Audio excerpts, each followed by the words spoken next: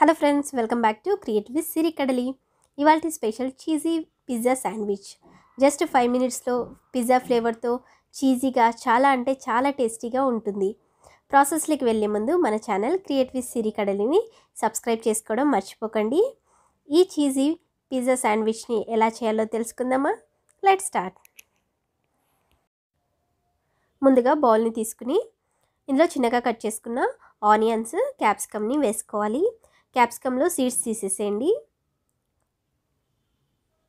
అలానే చిన్నగా కట్ చేసుకున్న ఒక టమాటాని కూడా వేసుకోవాలి.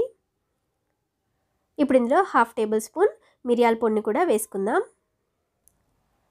పిజ్జా ఫ్లేవర్ రావడానికి ఇందులో హాఫ్ టేబుల్ స్పూన్ చిల్లీ ఫ్లేక్స్ని యాడ్ చేసుకోవాలి. అలానే హాఫ్ టేబుల్ స్పూన్ ఆర్గానోను కూడా యాడ్ చేసుకోవాలి.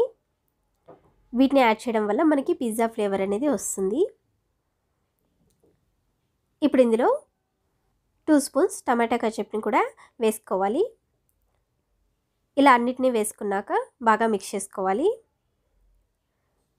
ఇప్పుడు ఇందులో గ్రేట్ చేసుకున్న చీజ్ని యాడ్ చేసుకోవాలండి. ఇక్కడ నేను ప్రాసెస్డ్ చీజ్ని తీసుకున్నాను. మీరు మొజిలా చీజ్ తీసుకుంటే ఇంకా బాగుంటుంది.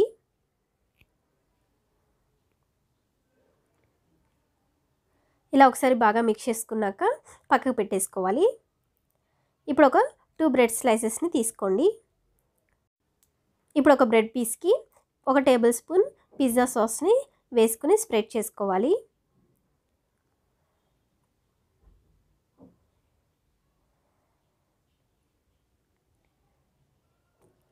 ఇలా ఈవెన్గా స్ప్రెడ్ చేసుకున్నాక మనం ప్రిపేర్ చేసుకున్న స్టఫింగ్ని దీనిపైన వేసుకోవాలి. స్వీట్ కార్న్ అవైలబుల్గా ఉంటే ఈ స్టఫింగ్లో మీరు స్వీట్ కార్న్ యాడ్ చేసుకున్న చాలా టేస్టీగా ఉంటుంది.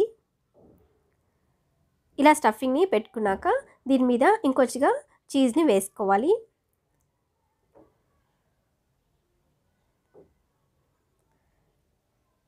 ఇలా చీజ్ని కూడా వేసుకున్నాక ఇప్పుడు ఇంకొక బ్రెడ్ స్లైస్ని తీసుకోవాలి. తీసుకుని దీనికి ఒక టేబుల్ స్పూన్ టమాటా కచప్ని స్ప్రెడ్ చేసుకోవాలి.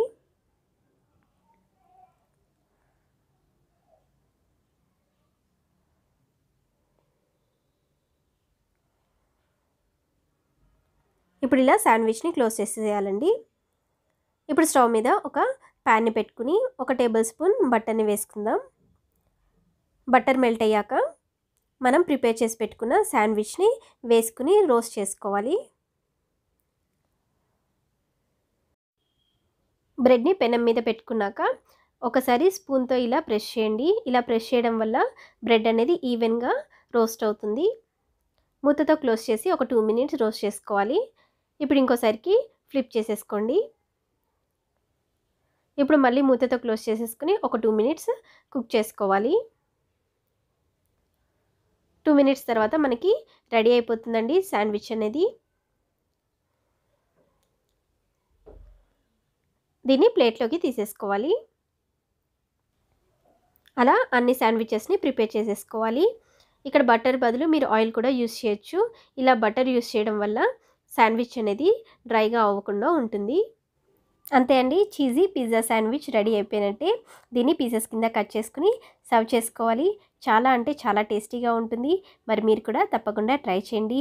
మీ పిల్లలకి స్నాక్స్ లాగా చేసి పెట్టండి. ఇష్టంగా తింటారు. మరి ఈ వీడియో నచ్చితే లైక్ చేయడం మర్చిపోకండి. మీ ఫీడ్బ్యాక్ని కామెంట్లో తెలపండి.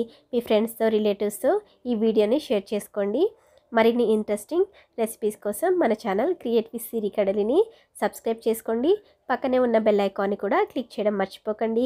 నేను ఏ వీడియో అప్లోడ్ చేసినా మిస్ కాకుండా ఉంటారు. Thanks for watching